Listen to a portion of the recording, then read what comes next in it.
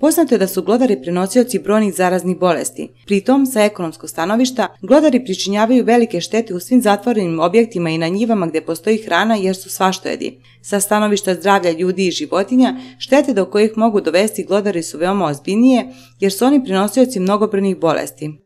Glodari prenose bolesti koje su vezane i za bakterije, za viruse, parazite, gljivice, znači veći obuhvat e, ovaj, uzročnika i najpoznatije su leptospiroza, tularemija, bruceloza, e, mogu preneti i besnilo, e, trihinelu, za koju znamo i javlja nam se svake godine, kugu, prenose bolesti, e, bolesti mogu da se prenesu i preko buve koje imaju ove glodari, tako da veliki opseg je bolesti za koje ne znam da li su sugrađani čuli i da li uopšte znaju da ih prenose glodari.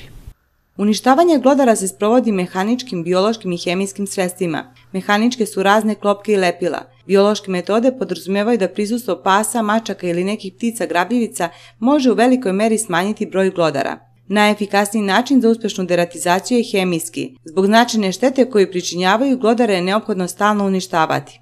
Deratizacija bi trebala da se obavlja dva puta godišnje, ali ako ne postoji ta mogućnost, bitno je da se uradi s jeseni.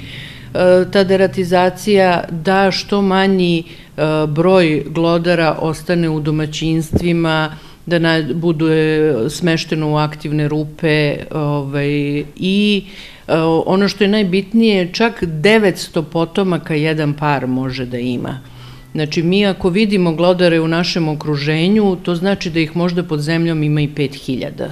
To je jako veliki broj. Sredstva za suzbijanje i smanjivanje štetnih glodara se dobro prodaju.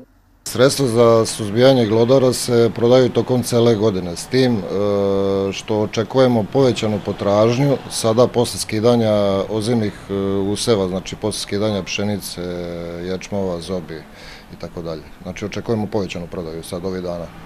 Zbog višestruke i ozbiljne štete koju nanose glodari, deratizacija je neophodna mera, a ona se na teritoriji grada Šapca od 2006. godine sprovodi samo parcijalno.